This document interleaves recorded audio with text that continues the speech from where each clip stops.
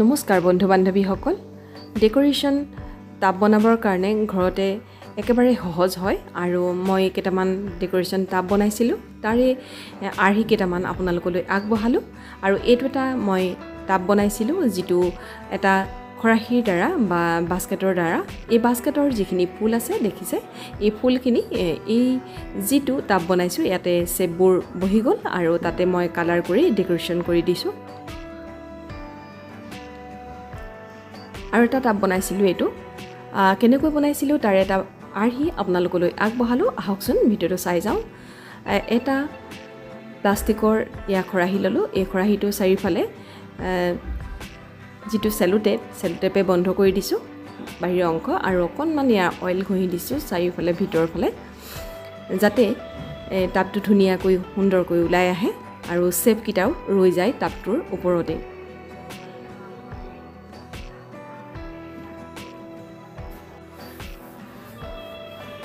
আৰু চিমেণ্ট পানী মিক্স কৰি অকণমান এইদৰে ঢালি দিলোঁ যাতে ধুনীয়াকৈ টাবটো ওলাই আহে।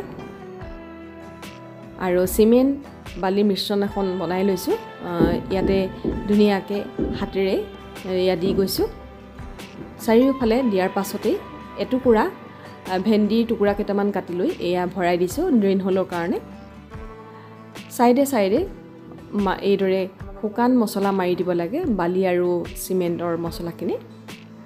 বেছি মছলাটো ঢিলা হ'লে বেয়া হয়।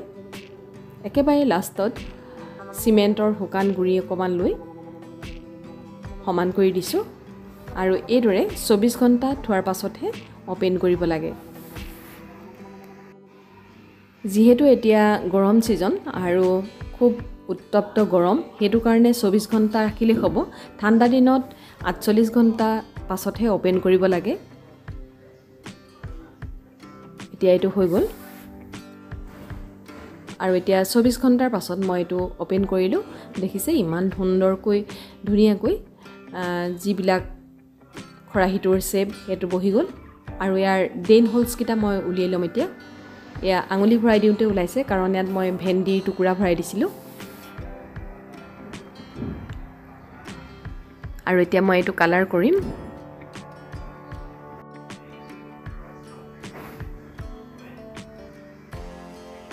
কালাৰ কৰাৰ বগা কালাৰ অকণ মাৰি লৈছোঁ তেতিয়া ধুনীয়াকৈ চেপবোৰ জিলিকি উঠে আৰু ধুনীয়াকৈ যেনেকৈ চেপ আছে তেনেকৈ বেলেগ বেলেগ ৰঙৰ দিব পাৰি।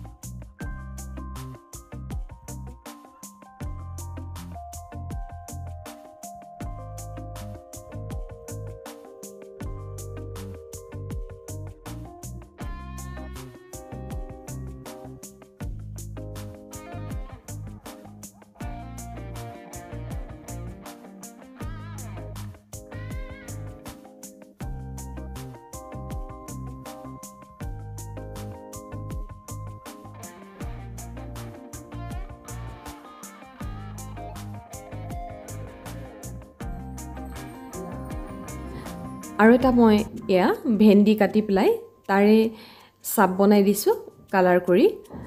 কাৰণ যিটো মই বনাইছিলোঁ ইয়াৰ ছাৰ্ফেচখন একেবাৰে সমান মিহি। সেইটো কাৰণে মই এটা ভেন্দি টুকুৰা এইদৰে লৈ চাপ বনাই দিছোঁ ফুলৰ। আশা কৰোঁ ভিডিঅ'টো চাই ভালেই পালে। আৰু যদিহে মোৰ চেনেলটো এতিয়ালৈকে ছাবস্ক্ৰাইব কৰা নাই প্লিজ ছাবস্ক্ৰাইব এটা কৰি ৰাখিব পুনৰ ভিডিঅ'বোৰ চাবৰ কাৰণে। আৰু এইবোৰ মই পুলি ইয়াত ৰোপণ কৰি দিলোঁ। ভিডিঅ' চোৱাৰ বাবে আপোনালোকক বহুবাৰ ধন্যবাদ জনালোঁ। আজিলৈ আহোঁ।